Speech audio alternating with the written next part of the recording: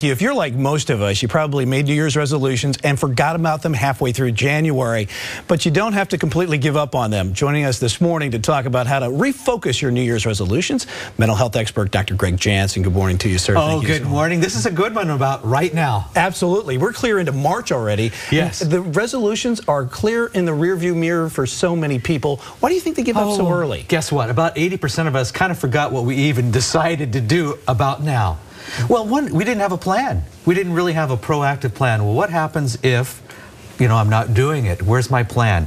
We can have great expectations, but we've got to have that plan. So it's a goal setting at first. And you say the number one uh, New Year's resolution is losing weight, exercise number two. The last 10 years, number one for most of us has been to lose weight, followed by um, the whole area of exercise, followed by get out of debt. Get out of debt. Especially now during the winter time, yeah. you want to get out of debt after the holidays and you want to get back in shape. But you have three main points yes, first. Yes. Now, the, the, the two point only 2% only succeed. Isn't that amazing? 2% about really succeed in maintaining their New Year's goals through the end of the year.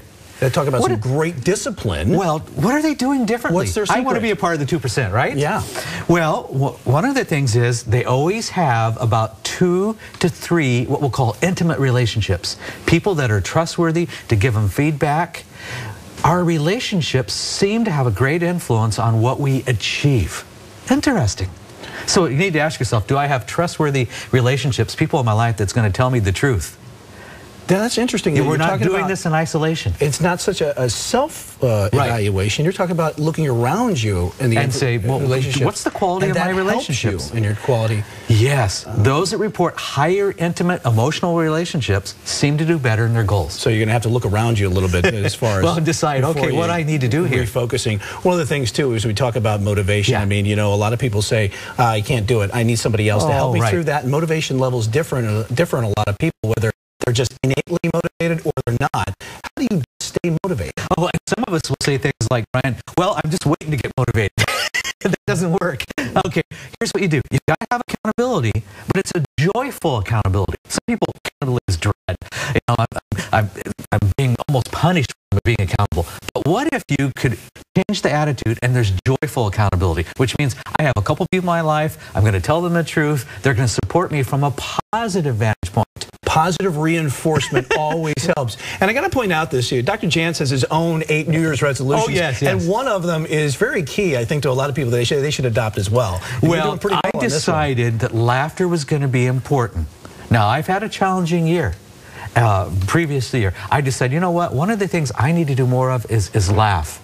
And so keep those things before you. I actually have on my desk, I have the goals of my family members, I have my goals, and I'm, I use a reinforcement plan with my goals. I look at them.